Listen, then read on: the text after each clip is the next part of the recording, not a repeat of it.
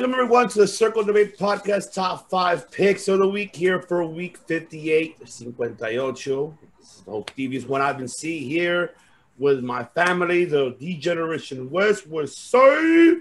I That's right. And see, Matt representing the West Side because he has his hat, you know, like, what's up, my boy? What? What's up? From the West. day, this was how this is how you were cool back in like 96 90 96 to like 99 you know i had my hat like this all the time and my power ranger shirt you know Hell yeah. puff Hell daddy yeah. az you know That's right, ladies and gentlemen. Mr. MGC Matthew Callis Steamboat.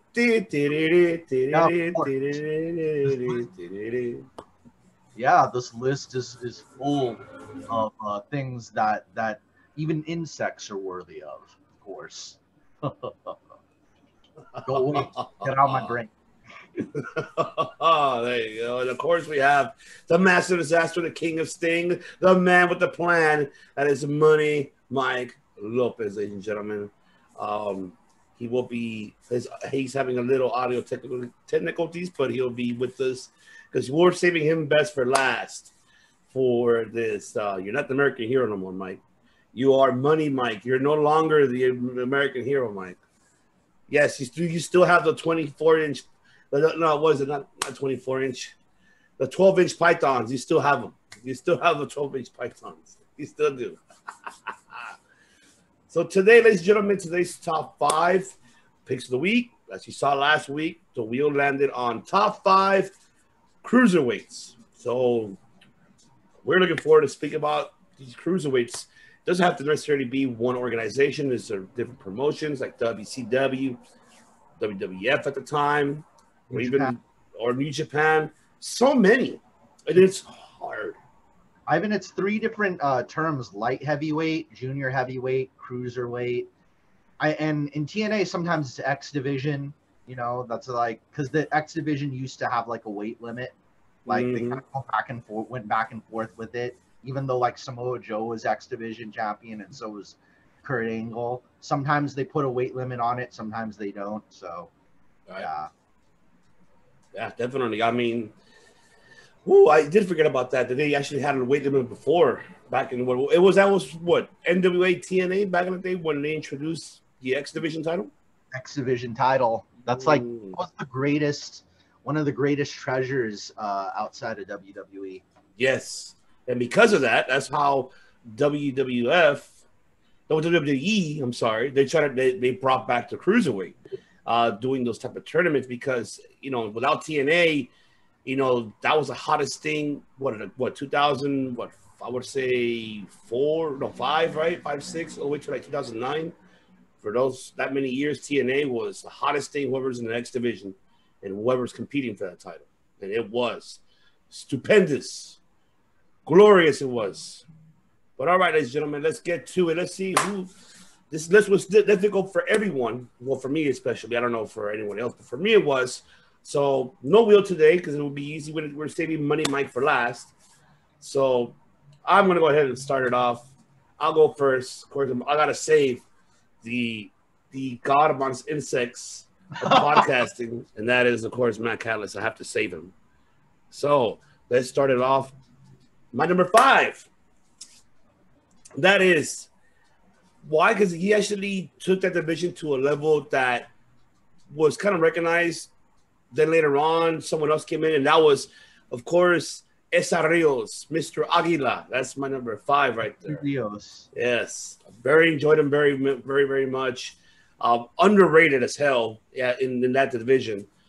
Did a lot. I mean, his moonsault was like, uh, like a flowing late moonsault. I'm like, what the fuck?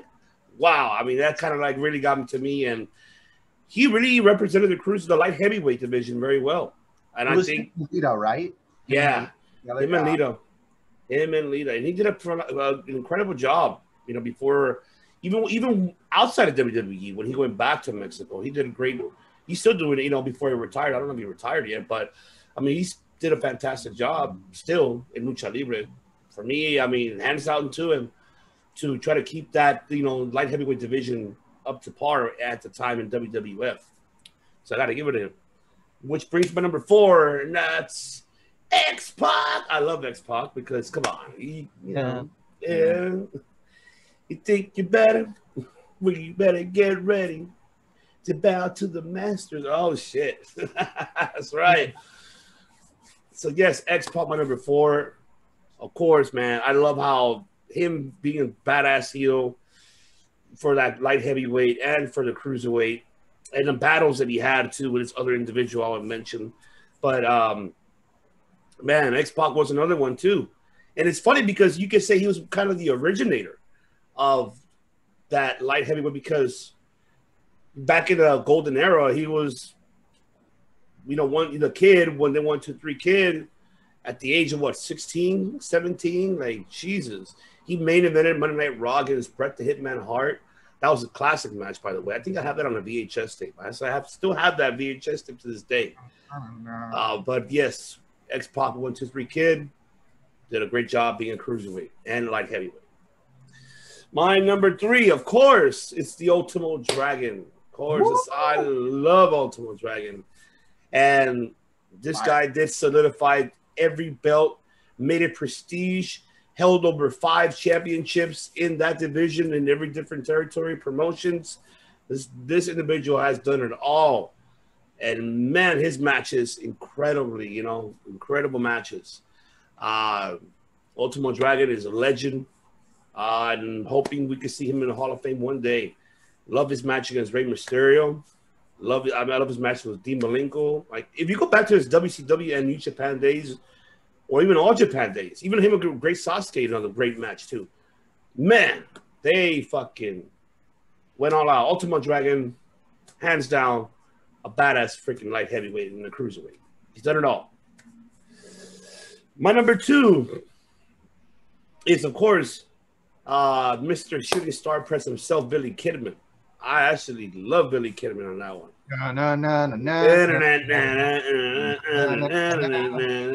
That's the best theme. I gotta I, say. I like that one, and then the one then when he went heel. Oh yeah, run, run, run. I forgot the rest of it. I run because you can't hide. I love that song. I forgot who sings that shit. I said you don't know. Yeah, I forgot who the fuck sings yeah. I think it might be like just like in-house rapper or something. No, I think it was fuck. I'm gonna, I'm gonna have to look for it one day. Cause yeah, you know what? That's a good workout song too, by the way. I like it when you're running. Cardio. That's right. It's Money Mike. Song. and of course, my number one. No, ladies and gentlemen, is not Rey Mysterio because I don't consider Rey Mysterio as a cruiserweight. Not really. Not anymore. Uh oh, Mike's not getting happy about that. Of course. Okay, okay, Mike. I'll, uh, what do we do this? We'll do a tie. We'll do a tie bet. My number one, of course, we can say Rey Mysterio, but the other one is the man who started it all when it comes to that, and that is Jushin Thunder oh, Liger. Because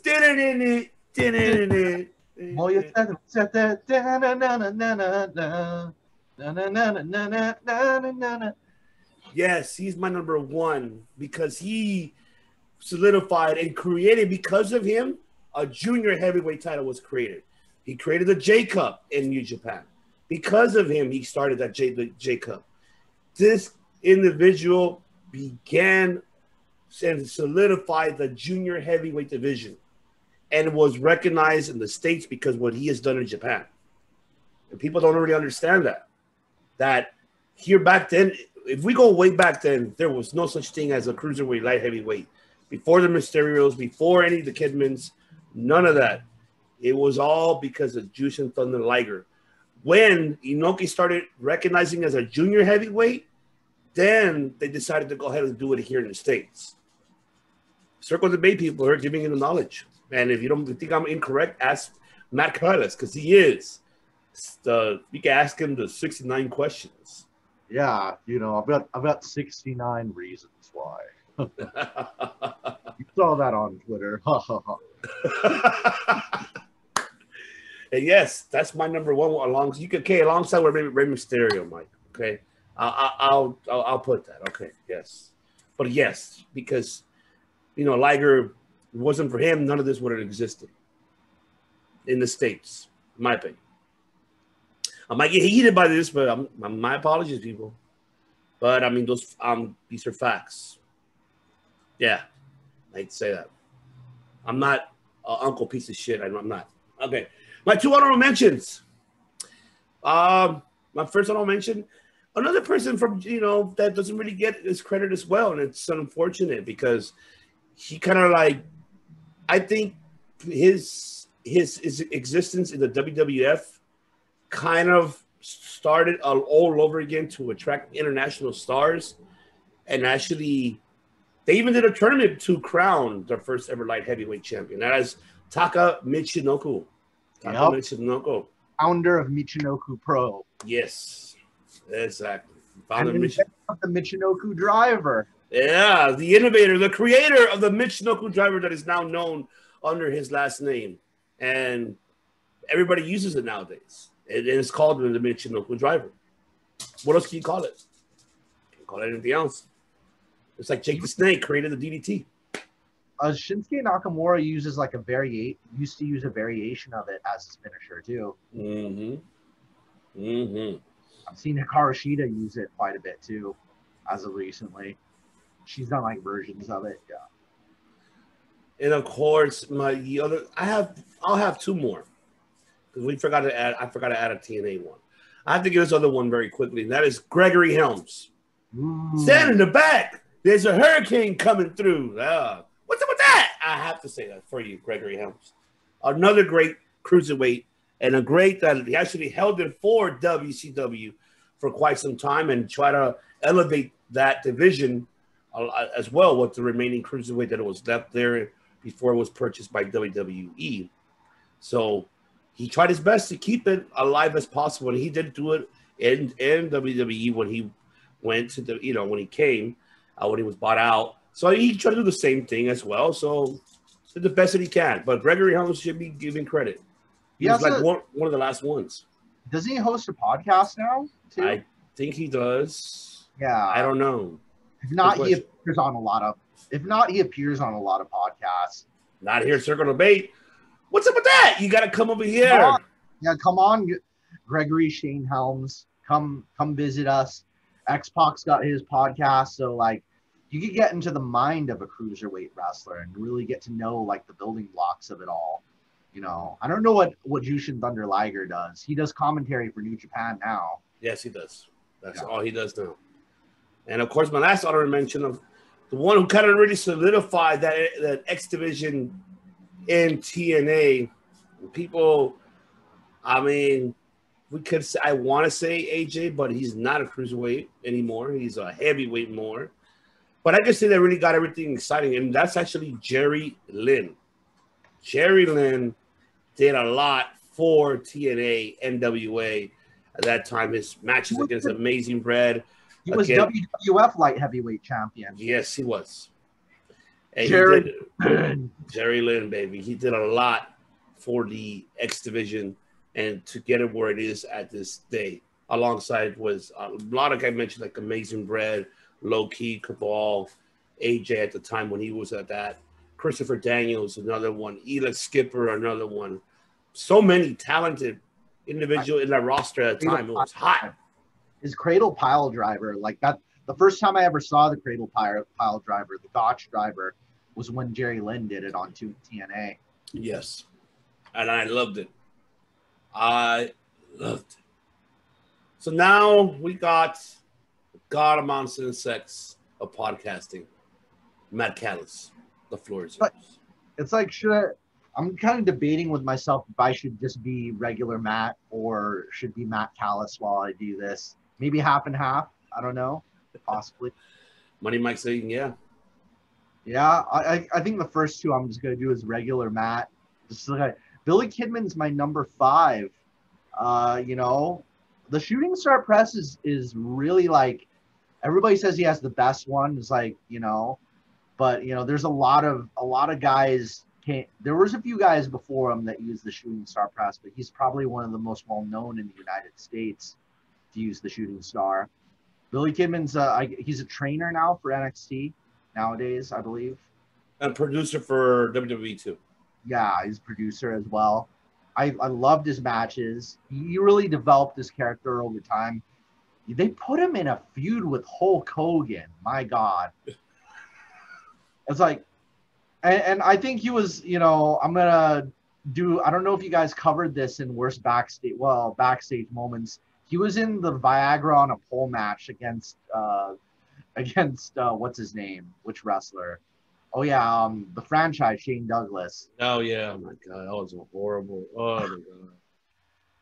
And it's like, and then one of his best matches, like one of my my favorite, was him versus Paul London. It was like the battle of the shooting star presses. Oh my god, I forgot about Paul London too, man. Shit, and Brian Kendrick too. Shit. Mm-hmm, that whole, uh, you know, Shannon Moore, like the whole that whole family of uh of wrestlers. But yeah, Billy Kidman's great. You know, long history with him. All right, number four. It's a little bit special one. Psicosis. Yeah, baby. Yeah. The original one, people, not the part two or third generation, of the original. O- OG Psicosis. Yeah. Like watching him on WCW. I caught him a few times on on Telemundo. Which one was it? CMLL or AAA on Telemundo? Uh, AAA yeah, I, I caught him there, and they gave him like I remember the announcer like when he came to the ring gave him a really long intro like close like it's almost like John Moxley. It was like, but like it, it was way longer than that. That was like the longest Psicosis intro I ever watched him, and he was doing all kinds of really cool shit. You know, two-time WCW Cruiserweight Champion, Psicosis, you know. I've been looking for time. Like I was so excited for this episode, I couldn't wait to mention him. Wait. Oh yeah. That whole headgear. He wrestles with that headgear on. I'm not gonna stop saying this to about Tommaso Ciampa. Find a version of your mask that you could wear to the ring. Like I get, su- I get. It's such a letdown to see you take that off. You know, when you go in the ring. I want him to leave it on because it looks cool. You know. Bringing. All right, next one up. Ultimo Dragon is actually my number 3 mm-hmm. We're both in the same way. Love it. Duh, duh, duh, like, think about his his students though. Like, we're really seeing his his his um, well, Ultimo Dragon's uh, proteges kind of like really, you know, I wouldn't say go further than him because I know in Japan and in Mexico he's like had so many different titles. But as far as like United States television wise, like some of his prodigies like still have like their whole career ahead of them. Yeah, agreed. Pac, Ricochet, you know, Pac, Ricochet, CIMA. Like CIMA's opening up China to the wrestling world, and all three of them were in Dragon Gate. CIMA was a former Dragon Gate champion. Ricochet, former Dragon Gate champion uh, and Pac's a former Dragon Gate champion, and they've all been on like U.S. television with AEW and WWE. You know, CIMA, like, like, like they're all the like Dragon Gate. Like I, I talk about Noah quite a bit, but I gotta really bring up Dragon Gate. Like everybody they should always be mentioned in that conversation. Say New Japan, All Japan, Noah, Dragon Gate. Those are the big four. And DDT is kind of like the funny one, but at the same time, they've got some pretty good serious wrestling going on there too. But you know, th- those main four for like men's wrestlers, you know, those would be the four I'd always want to bring up. All Japan, New New Japan, Noah, Dragon Gate. Those are the four you should always think about. Because Dragon Gate like even the Young Bucks are former Dragon Gate tag champions. A lot of really, a lot of really great ones. And Ultimo Dragon, he created that, you know, he created that nest for all these great wrestlers to be. In addition to his amazing arsenal of moves, you know, dra- like that Asai moonsault, like one of the best out there is his Asai Asai moonsault. One of the coolest ones of them all his influence felt on Jericho, you know. And Kota Ibushi. Mm-hmm. Kota Ibushi as well. Mm-hmm. Ultimo Dragon. The, he's like the vintage of Asai Moon, uh, Asai Moonsault. I think something Michael Cole would say. Oh my God, there's a vintage Asai Moonsault.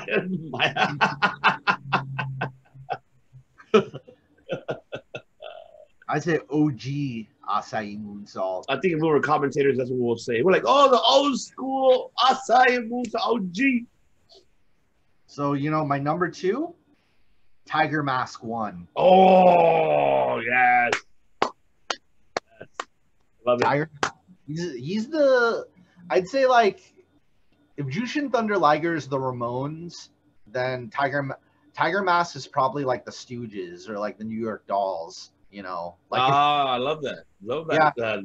Mhm. yeah, if cruiserweight wrestling was punk rock, then you know, like Tiger Mask is probably like the Stooges, or you know, let me think, maybe like the Who, even, you know, like pre like proto punk, pro, he, that's proto cruiserweight wrestling right there, you know, playing Blitzkrieg Bop on guitar, you know.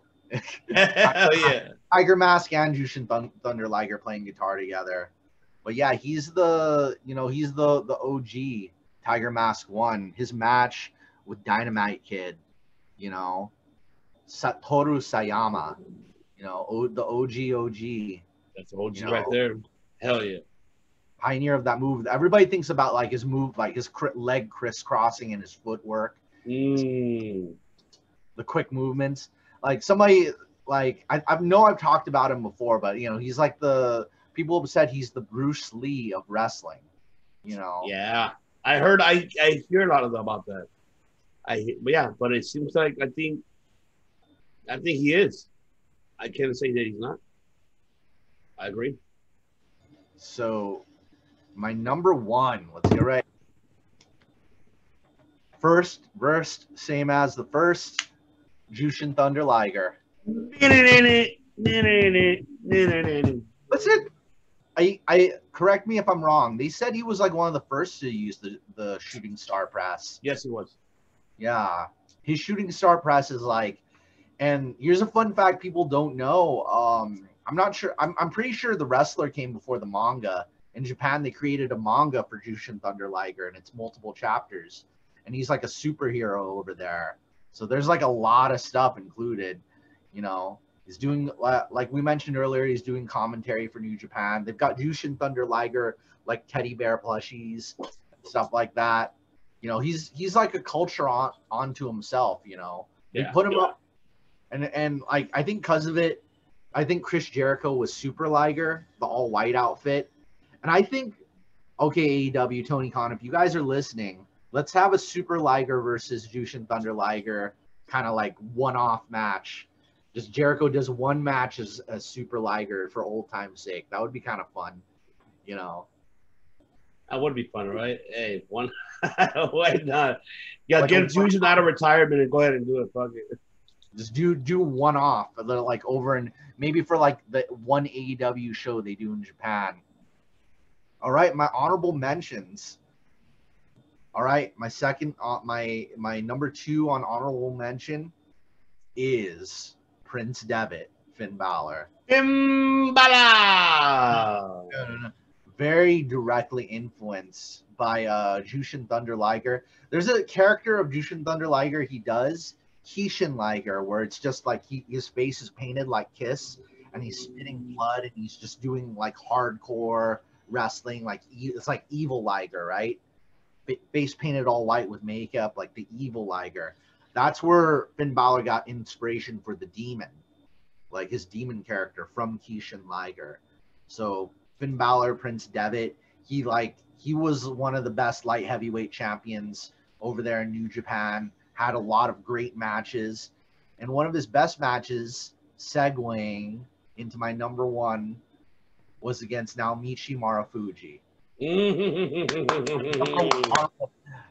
Marufuji was light heavyweight champion for New Japan, light uh, junior heavyweight champion for New Japan.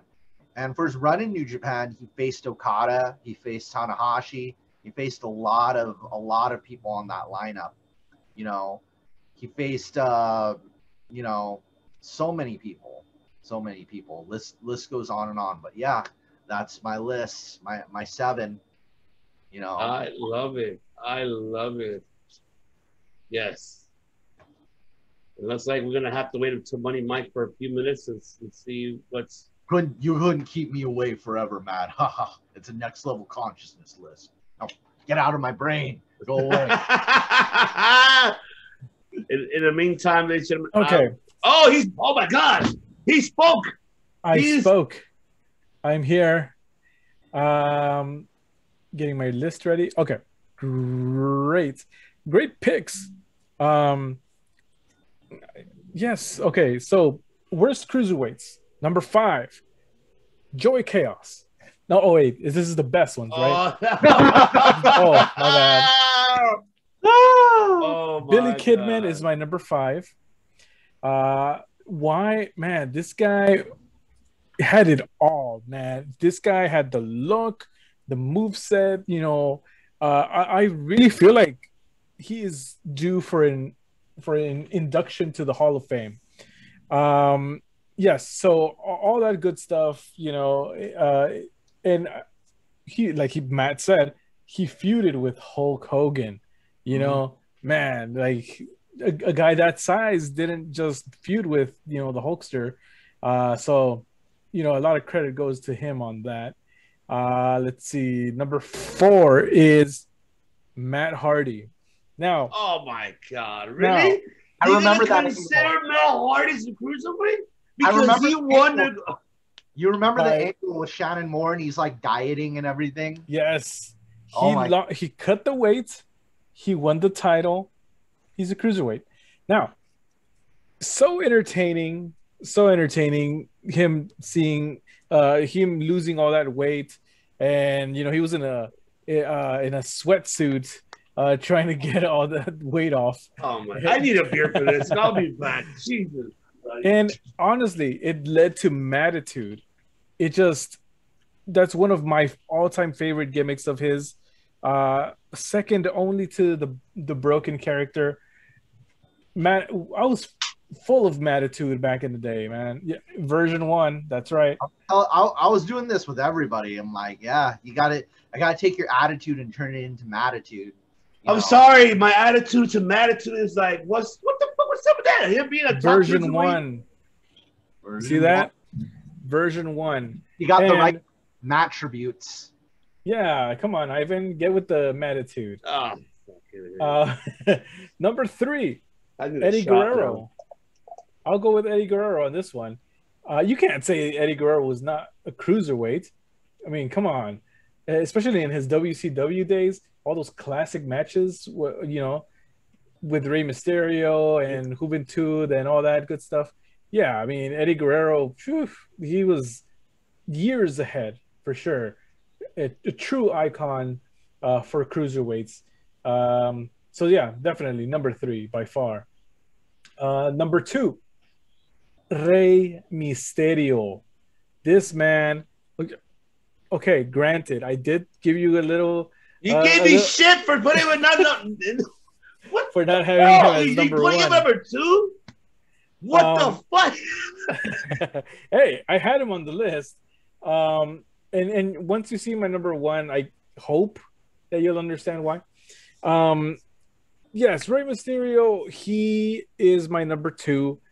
The he was such a. I mean, he still is. He's a, a pretty good wrestler. You know, I feel like he's kind of slowed down, uh, given age and and wear and tear and stuff like that. Uh, but you know, I always remember Halloween Havoc, him and Guerrero. I actually recently watched that match over again, and total classic, total. You know, if I were to have a, a wrestling school, I would totally share this match, and uh, you know, all that good stuff. So lots to learn from Rey Mysterio if you're a cruiserweight, definitely. My number one is Y2J Chris Jericho. Okay, I'm done. Good night, everybody. What the? Wait a minute. Oh, he was a like he, he was in his early days. He was in his early days. Yeah. Yes, of course. Uh, next level consciousness. Oh yeah. Um, Oh my god. Okay, our- I think I know where our- you're going with this. This One of has our to be boys from because of, it has to be the list, right? Like him breaking down Dean Malenko's holds, like the man of a thousand moves. Yes, and Dean Malenko Yeah. was a former uh, light heavyweight champion. yes, he was. Um, Don. Um, yes, yes, he was, and you know, okay, right now he's not definitely not considered a heavyweight. I mean, uh, he is considered a heavyweight right now. Um, no offense, Chris, uh, but you know, back in the day, he you know was all over the place. You know, high flying and whatnot, and then doing some cool stuff. He could still do a moonsault. I mean, come on now. You know, it took him twice to do it because remember the first time is he saw his forehead. It's more like he, slided. Yep, he ate his shit, and he had to try it again because he knew he oh was getting man. he was getting shit all over social media because of it. Well, number one, undisputed champion, uh, Chris Jericho. I'll tell you. Okay, I'll, I'll give you that reason because Matt could probably give it more explanation than I can. If we go back to his Lionheart days in New Japan, that explains it all. His match versus Pegasus, Chris Benoit, Tiger Mask, Eddie Guerrero. That was for the junior. That was a J Cup, I believe, was a tournament, or was it, for the, or was it for the junior heavyweight champion? If you remember, Matt Callis. It's like because the very fact that he is Super Liger and and Jushin Thunder Liger is the penultimate cruiserweight, you know. So so the fact that Chris Jer- they wanted to make Chris Jericho the next Jushin Thunder Liger kind of is like saying him all that he's a very definitive uh, cruiserweight, and especially since this cruiserweight won world championships, you know, down the line. Like when he was undisputed champion, he was he wasn't any bigger than he was during his time in like you know WCW or New Japan, you know. But um, see Christian, but but it's very it's very worth. He's very worthy of cru- the cruiserweight title, especially the fact that him and Jushin Thunder Liger are like often mentioned together. It's funny because there are that you could say they're similar alike of what they accomplished in their careers on their ter- territories. Like with Jushin, he's he, at least he was able to go to different promotion as well as Jericho. So you could say that they're both the good jokes. The Yeah. good jokes. in and and he's smaller than Shawn Michaels, you know, and Shawn Michaels is a small guy compared to like Diesel and Vader and all those dudes, you Yeah. know. So uh, it's not a stretch to put him in that category, I would say. All right. Jericho the door for bigger guys to have that world title, to be like the the the ace, the company ace, rather than it just being like Hulk Hogan's and Lex Luger's all the time, and you know, and and what was it, Vader's, just like because Vince is so big guy centric, you know, it was so great that somebody, Ah! yeah, it's like you go, you're not seven feet, I don't want to make you world champion, you know. That's true. That is First honorable mention is has to be Ricochet. This Mhm. guy, man, I always remember when him and Velveteen Dream had that promo and oh anything you can do, I can do better or whatever. He jumped over the top rope, landed on his feet, and uh, you know, basically challenged Show him to me. do the same thing. Yeah, show me. Show me. Oh man. he dropped. I remember that. Oh my god, that was instant classic. I love it. Yeah, Ricochet. total, total classic.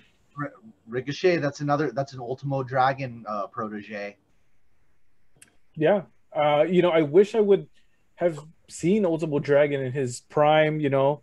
Uh, I didn't really catch a lot of WCW uh, early on. So, But he I- I knew he was, was in. W. Yeah, but remember he was in WWE too. Remember SmackDown. He was on SmackDown. He was there very only briefly. for like a split second. They didn't know how to use him honestly. SmackDown. They No. did not know how to use him. All, okay, all I remember about Ultimo Dragon was him slipping on the entranceway of WrestleMania 20.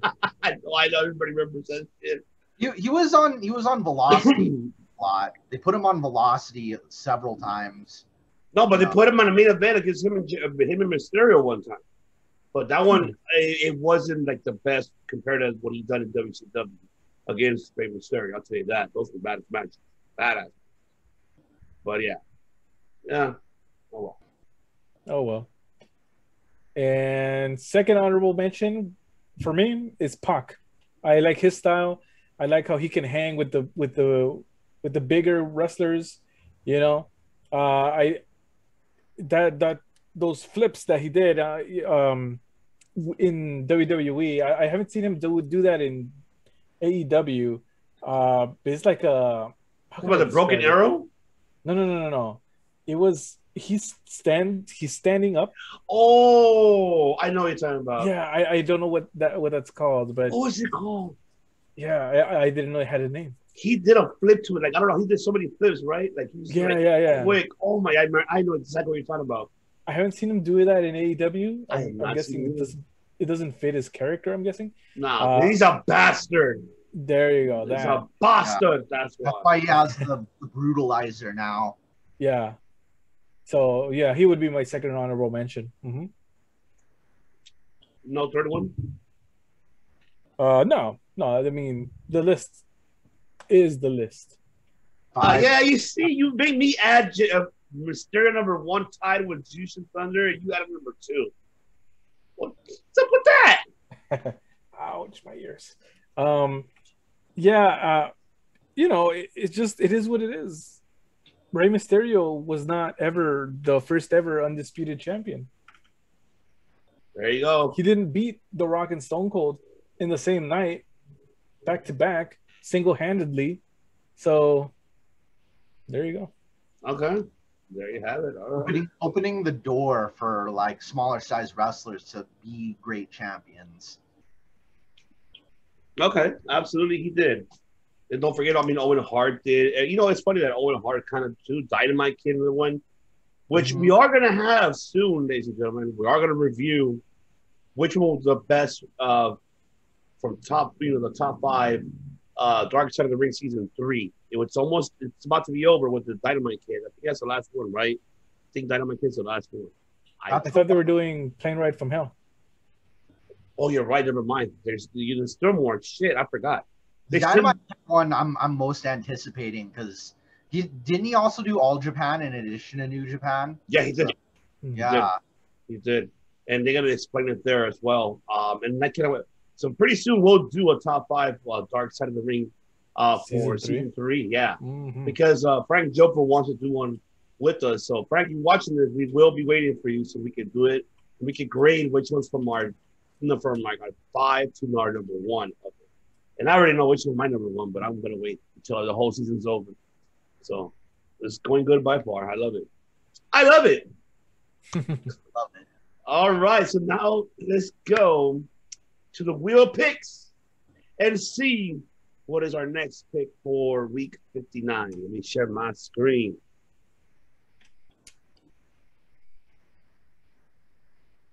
All right, what is next? Spin that wheel. Wheel.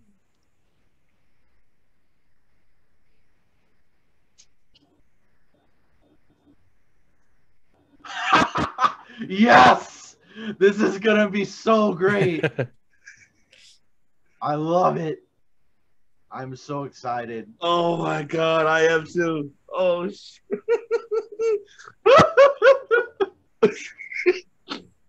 Oh my god, worst theme song. Oh man, this is gonna be epic. This is gonna be so great. This- this I already come on, I already know which one's my like my worst one of all. I'm gonna I don't give a shit, I'm gonna spoil it right now, of course. Uh I can't play it because of YouTube monetization and everything else, but Sing it. there's no singing to it. It's a fucking warning, warning. Oh, this is annoying. Think about it. Jesus, Peter Richard, what, whoever, whoever fucking thought about the them as a theme song, go to hell. Go with you, Bobby. I, I hope it wasn't Bruce. I hope it. It sounds like a Bruce idea to me. oh my god, man! But yes, oh, and by the way, everybody had incredible picks. Yes, you see how it's the it was very difficult to so many cruiser and light heavyweights and junior heavyweights that it was difficult to choose from. We could even chosen Will Ospreay, but we didn't. We could have chosen Amazing Red, but we didn't. Could have chosen Cabal, low key even Frankie Kazarian because he was a light he was a light heavyweight, but we're uh, it, it was it was tough, ladies and gentlemen. So if you have your top five, comment right below on the video. I want to hear your uh your top five um, cruiserweights that you you probably we did not mention, and let us know, and we'll be reading there, and I would like to see who you know if if if we did not mention any cruiserweights on our list mention yours right below on this video. Comment right below. Do not forget also to subscribe at the end of this video. Subscribe, wherever it is, right there at the end. Do not forget. And also want to go ahead and thank our audio platform listeners all over to India. And of course, I hope you guys enjoyed yesterday's Wrestle the Net. We will be, which will obviously we did a trivia, so you're hoping you guys will enjoy that. It's gonna be fun and watch it. You know, hope you guys enjoyed it. And also, don't forget, also uh, next week we will be discussing as well the um, what happened on yesterday's uh, the Against All Odds Impact.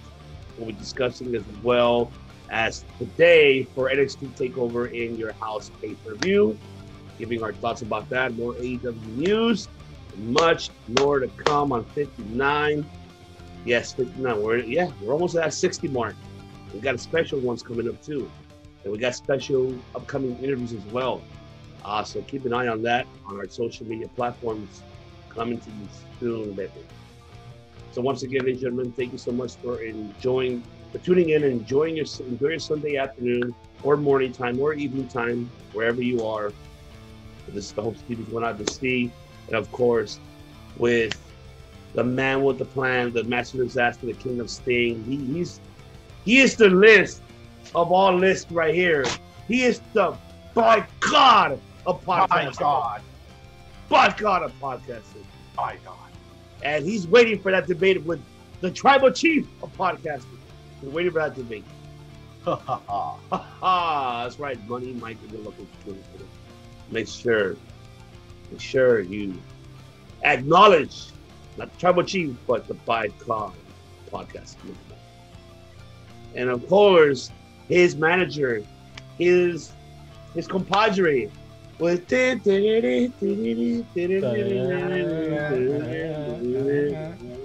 Remember that, you know, we are gods among insects. because he is God about podcasting as well.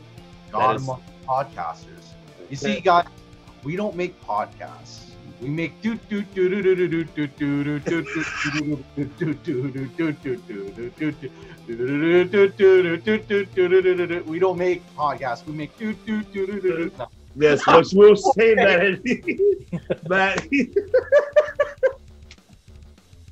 oh, MGC Matt Callis Steamboat, ladies and gentlemen. Telling you guys au revoir, good day, good night. Uh, once again, I'm gonna let Mike translate it, then I'm gonna let Matt end it. So, Mike, translate in Germany, and let the German people, our audio platform, listening in Germany. Äh, gut, guten Tag, alles all unsere Freunde von Deutschland. Wir, wir sind Circle of Debate. Und vielen Dank, wir lieben Sie. Gute Nacht, guten Abend, guten Tag. Danke. There you go. And Mr. Callis, let the people know, and also also our audio platform listeners, what do we do here at Circle Debate? Yeah, we don't make we don't make podcasts. We make do do do do do do do do do do do do do do do do do do. That's that's what we make. To be continued, folks. See you on the next one.